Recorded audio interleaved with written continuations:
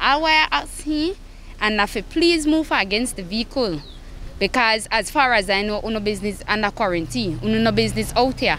He start, he said that people like uno got their they go about.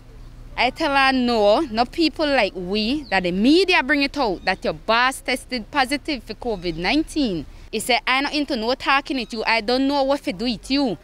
When I look, it's pin, gone down in the right side with the right hand and haul out a gun. And holla, must just make I continue talk. So I tell her, I not into do, go through this. I say, you need a gun for me, what a woman. I say, I don't want a woman to you. You don't need no gun for me. He say, anyways, I done it you. Stop back your gun, gone in a vehicle or gone. By coming outside of election and boundaries, it's about 100 yards from the gate. I was approached by a young lady that sitting down stating, said, get away from her, I have corona. So I turn around and I distinctly tell her, excuse me miss, you don't know me and I don't know you, but I have corona. She said, get far away, you have corona.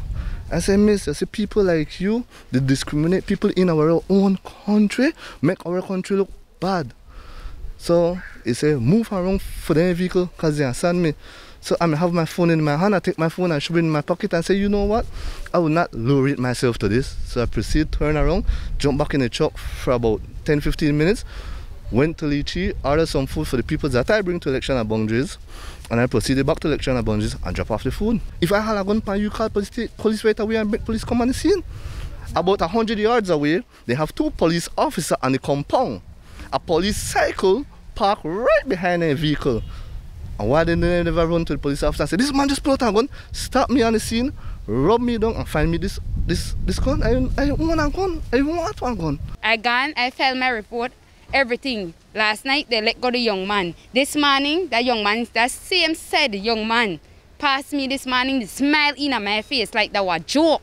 And about 4 o'clock, a police officer come and knock against the side of this vehicle.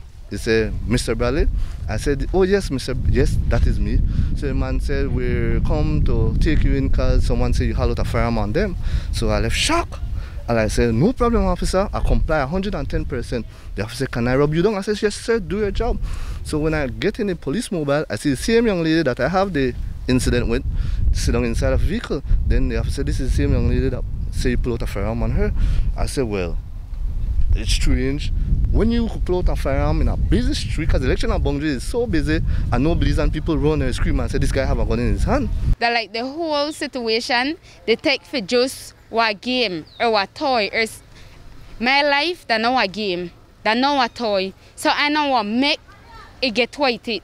Either the police, they do their part, or else I will have to intervene and do my part.